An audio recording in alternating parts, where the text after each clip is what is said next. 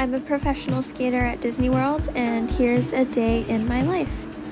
Uh, so I started out with a bowl of oatmeal, um, put some fruit on top, then I cleaned my room.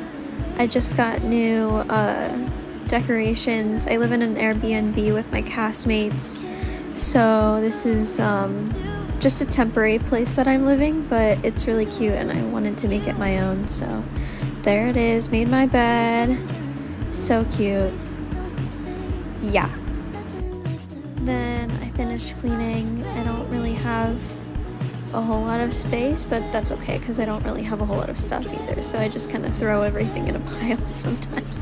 But okay, this is my room. Show you around. I have two beds. I don't have a roommate though, so I just kind of decorated both of them. But it's cute, so yeah. I have a lot of fun little knickknacks and stuffies and stuff. I brought my crystals from home, so yeah, I'm a crystal girly. Uh, so did my hair for my show because I have a show at 8:15. Have to be there at like six. Then I, it was time to make dinner. I actually took a lot of naps throughout the day, so now it's dinner time. I guess it's not really dinner because I didn't want to eat a whole lot before the show. I actually woke up really late, so I woke up at like one uh, I have a horrible sleep schedule, but I woke up at 1 and made oatmeal, so now I'm making just like a snack. And I made pot stickers, so yeah, they were super yummy. They're vegetable because I'm vegetarian sometimes. Then I went to Target to pick up some snacks, got Starbucks. You know, it's wintertime, so I had to get the holiday thing. This is my castmate Ruben, he drives me everywhere, and we're at Hollywood Studios. So I thought I'd add some clips where I absolutely cooked in these performances.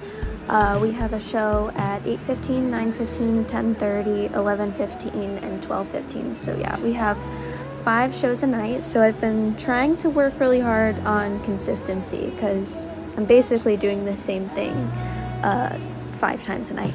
Um, but I think it's safe to say we're all getting to a very consistent point, which is good.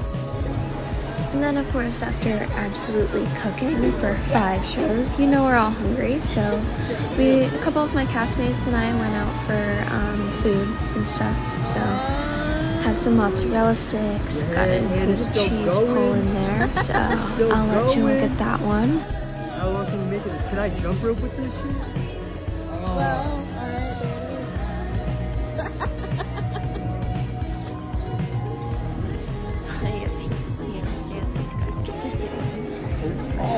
But I had to try it too, so there you have it. Went Back home, did the dice roll, slay arrow. Uh, and then we called it a night, so yeah.